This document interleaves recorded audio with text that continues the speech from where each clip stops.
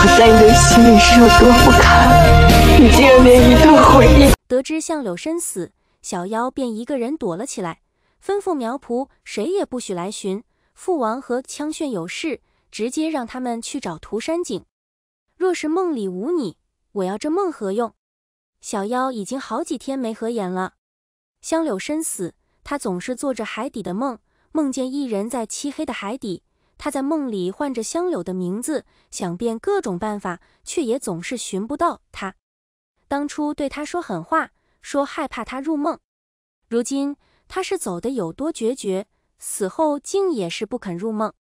涂山璟虽名义上陪着他，却并未与他待在一处。白帝和枪炫命人打着送礼的旗号来了好几次，都没能见到小妖。世人以为涂山家的公子在和西陵大小姐出海游，殊不知这二人半月来一面也未曾见过。涂山璟当年自怨自艾，损耗过度，如今只有不到百年的寿命。他需要尽快的培养出一位接班人，在他百年后接管涂山氏，所以现如今也并不清闲。三日前，枪炫派入收来给小妖送礼，并下旨吩咐众人，只有西陵小姐亲自签收，使团方可返回。那是小妖躲起来的第二十一天。只见一只大鸟趁着天降亮未亮，闯进了海岛。一阵盘旋后，发出数声哀鸣，惊动了岛内半数的飞禽。陆收最先发现它闯岛，考虑到小妖还在林子里，便下令搜山捉鸟，保护大王鸡的安全。只见那大鸟盘旋半日，却并未落下，也没有伤人的意思，只是不停地朝空中哀鸣。似是在寻人，入收打着捉鸟的旗号，让手下在林中寻了半日，就差将林子翻了个遍。皇天不负有心人，晌午，小妖终是出现在了众人面前。此时，白帝也派人来了。小妖现身的时候，使团都在。小妖见他们动静如此之大，自然猜到了他那位好哥哥下了怎样的旨意。他终究是心软，现了身。想着让他们捎上几句话，以便回去交差。入收见大王姬现身，一直低着头没有说话。小妖见他低着头，并未理会，只是吩咐人将一众礼物收下，整顿好后，由涂山璟做代表送众人出岛。小妖的别院建在海边的高地，院前朝下望去，便能看见大海。傍晚，使团陆陆续续的登船。涂山璟和手下都去海边送使团了，独留苗圃陪着小妖。他们二人一前一后站在别院前庭，吹着海风。小妖看着底下忙碌的使团，一言不发。苗圃看着王姬消瘦的背影，那个曾经活泼的王姬，好似在这半月里失去了生气，只剩一副骨头撑着。王姬正值芳华。渴望向他的眼神却爬满风霜，像是海中升起的大雾，罩住了曾经的明媚，望不见一丝波澜。众人忙碌着，小妖便站在那里看众人忙碌着。海浪拍打着远处的礁石，苗圃静静地站在那里。月光打在王姬的脸上，苗圃鼻子一酸。明明涂山家的公子一直陪伴在侧，可他还是能够感觉到王姬并不开心。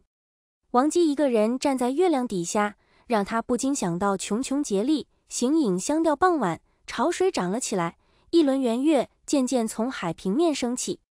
今日是十五月圆之夜，小妖看着海浪拍打着远处的礁石，一时竟有些出神。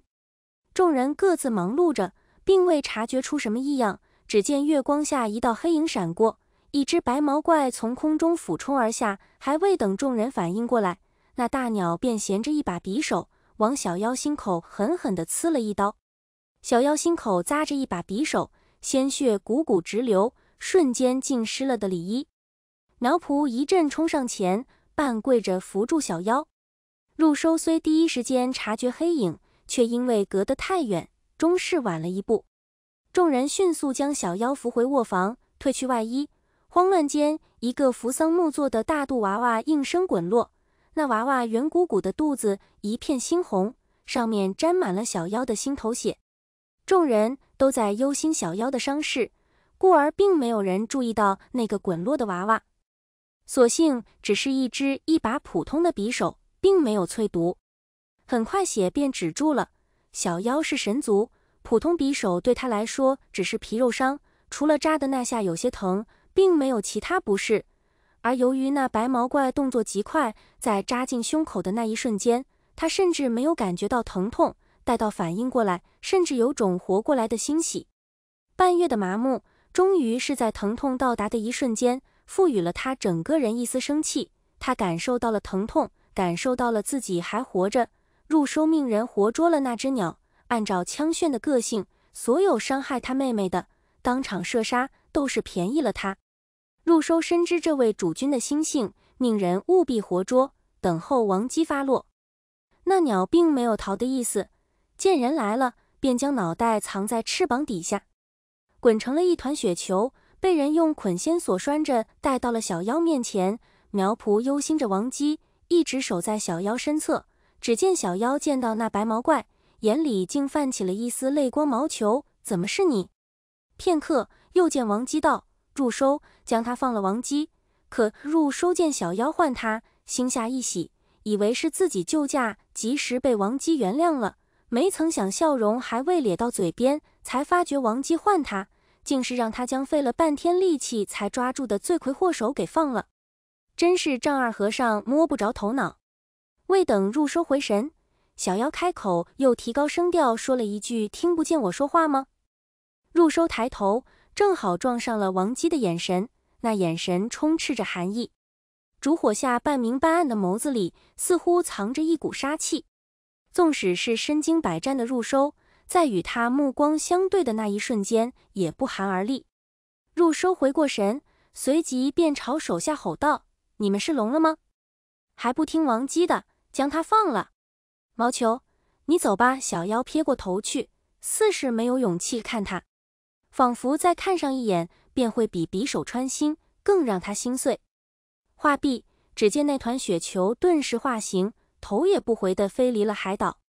若是父王和枪炫问起，你们便说我只是在斗鸟的时候被灼伤了，那鸟已经被我当即射杀。是入收不敢多言，他只知道赵王姬的吩咐，就算枪炫计较起来，也不会拿他怎样。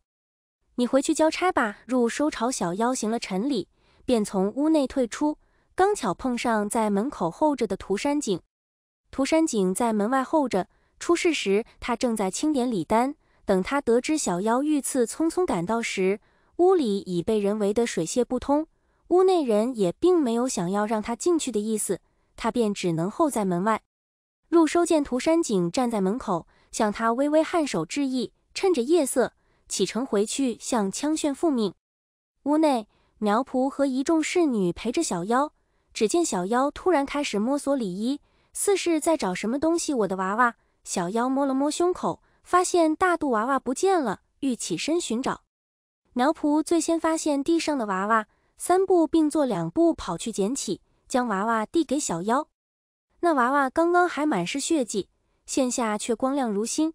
未等苗圃缓过神，小妖一把将那娃娃捧起，放在胸前，轻轻地说道：“不知为何，有他在身边，我才觉得心安。”苗圃，你们下去吧，我想一个人待一会。苗圃本想说涂山公子还在屋外候着，可看着自家王姬落寞的样子，终是话到嘴边，硬生生的憋了回去，领着众人一起退至屋外。迎面遇上涂山璟，涂山公子，王姬想一个人静静，吩咐我们不要打扰，您还是请回吧。苗圃向后在屋外的涂山璟欠了欠身，抬眼谢客。涂山璟见苗圃此状。心下了然，便一瘸一拐的离开了。翌日，小妖起身，换了苗圃。只见小妖半靠在榻上，低眸把玩着手里的大肚娃娃，说道：“苗圃，去帮我叫涂山公子过来。”苗圃去请涂山璟。只见涂山璟听到王姬唤他的消息，手中的茶杯都没有拿稳，径直起身，一瘸一拐的向小妖房里奔去。苗圃看着他疾行的背影，一阵唏嘘。涂山璟似是一夜未眠，他的两鬓本就布满银丝，一晚过去，更是显得苍老。苗圃追上前，领着他进了小妖的卧房。小妖见涂山璟来了，并未抬眼看他，依旧把玩着手中的娃娃。小妖，涂山璟终是忍不住先开了口。只见小妖把玩的手停了下来，抬眸看着床尾的烛台，静静的说道：“叶十七，你还记得当年你说过的话吗？”小妖涂山璟不知道小妖所指的到底是哪句话。他这一生向小妖承诺的太多了，回想那么多承诺，竟是一条也未能完成，心下更加懊悔。你说过，你只当叶十七做我的奴仆，你还记得吗？我记得。见小妖愿意开口说话，涂山璟近乎讨好似的应着。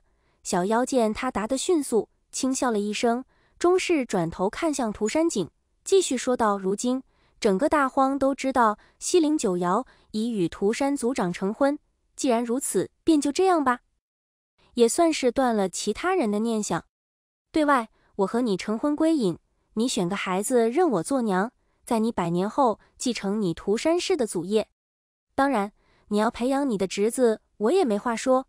你的孩子，我都会认下，这点你大可放心。小妖涂山璟以为小妖在说气话，上前一步想去握他的手，结果不出意外的被小妖躲开了。小妖似是有些怒意的继续说着，丝毫没有给涂山璟辩驳的机会。你让我把话说完。涂山璟见他还是如此排斥，便向后退回原地，静静的站着。像一个做错事的孩子，可很明显，小妖此刻并不吃这套。我害怕孤单，怕寻不到长久的相依。你说过要做我的奴仆，处理好涂山家的事，便随我去清水镇。我做回我的文小六，你做回叶十七。你的寿数如今不过百年，我会陪你到寿终正寝，也算是今生完成一个对我的承诺吧。还未等涂山璟开口，小妖便示意苗仆过来扶他起身。只见小妖将大肚娃娃揣在怀里，径直路过涂山璟，朝屋外走去，吩咐下去即刻动身。我要回一趟五神山，叶十七，我在清水镇等你。那人声越来越远，最后消散。听后人回忆，西陵大小姐在和涂山公子出游时，被一只大毛怪灼伤，不久后便没了消息，好像从人间蒸发了似的。